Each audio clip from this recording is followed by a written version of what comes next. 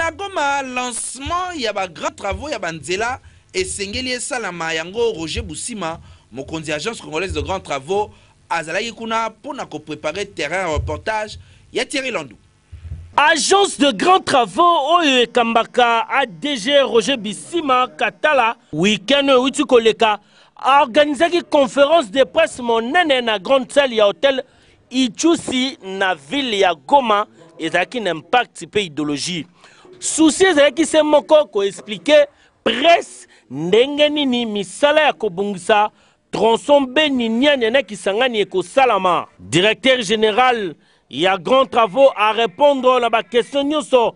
ba journalistes batunaki ye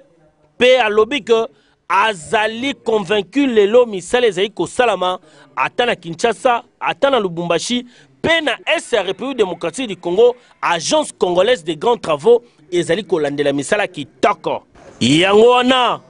asengi na population nyonso ya Goma ba soutenir projet oyo ezali kosala ke banzela ebonga yango alobi na bango ba soutenir initiative oyo ya mokonzi ya mboka azwi mpo na kobongisa banzela nyonso ya république démocratique du congo